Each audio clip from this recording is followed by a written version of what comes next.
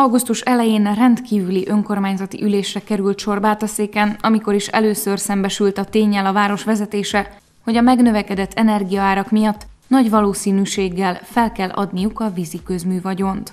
Az ülést követően Bozsolik Robert ismertette a képviselőtestület egyhangú állásfoglalását. A hatályos víziközmű törvény alapján, ha is amennyiben az ellátásra kötelezett, azaz az önkormányzat nem tudja a víziközmű szolgáltatást bármilyen oknál fogva e, fenntartani, akkor e, önkéntesen és ingyenesen átadhatja a víziközmű vagyonát a magyar államnak, és átadhatja azt a tulajdon részét, amit a, a víziközmű szolgáltató cégben tulajdonol.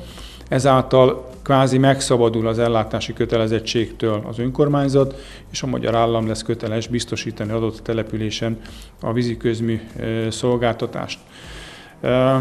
Hát nagyon nem szeretnénk mi Bátaszékváros önkormányzata részéről azt a mintegy két és fél milliárdos önkormányzati vagyont és a gazdasági társaságban lévő tulajdon részünket ingyenesen átadni, és gyakorlatilag teljes egészében kikerülni abból a döntési mechanizmusból, ami a víziközmű rendszert illeti. Az eltelt időben a város folyamatosan kereste a megoldást, hogyan lehetne a vagyon megőrzése mellett a szolgáltatást a törvényeknek megfelelően tovább biztosítani, ám minden igyekezete hiába való volt. Körbejártuk a lehetőségeinket, hiszen a képviselőtestület néhány héttel ezelőtt rendkívül testületülésen úgy döntött, hogy nézzük meg, hogy esetlegesen tudunk-e egy szolgáltató váltással olyan helyzetet teremteni, hogy a víziközmű vagyonunk megmaradhat, viszont továbbiakban is jó színvonalon tudják a víziközműrendszert működtetni környékbeli szolgáltatókkal felvettük a kapcsolatot olyan gazdasági társasággal, ami állami tulajdonban van, olyan gazdasági társasággal, szolgáltatóval, ami, aki önkormányzati tulajdonban van.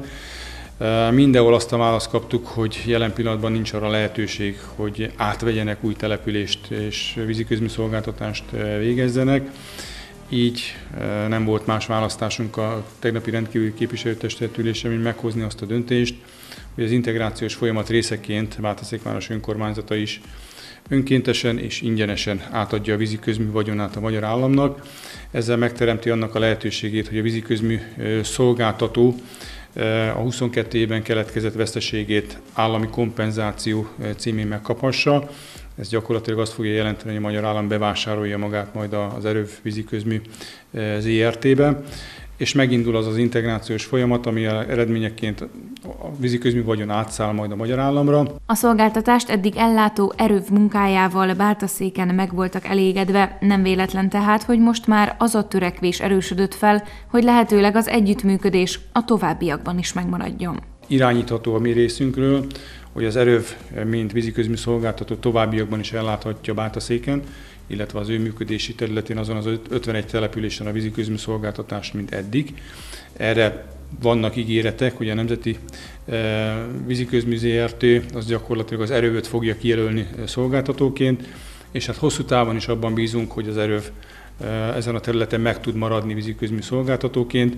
Ez fontos számunkra, mert így egy kicsit közvetlenebb kapcsolatot tudunk föntartani továbbiakban is ezen a területen, és ami azért még ennél is fontosabb, hogy az a dolgozói kollektíva, aki az erővön belül végzi a munkáját, az megmaradhat, és ezek a munkahelyek gyakorlatilag továbbiakban is megmaradhatnak, és biztosítják a családok számára a megélhetést. Az látszik, mondja Bozsolik Róbert, hogy a települések kényszerpályára kerültek, és hasonló módon járnak majd el. A kis települések szinte már meghozták a, a döntésüket, majdnem mindegyik, legalábbis az az információ, hiszen számukra még reménytelenebb volt a helyzet a nagyságrendjükből adódóan.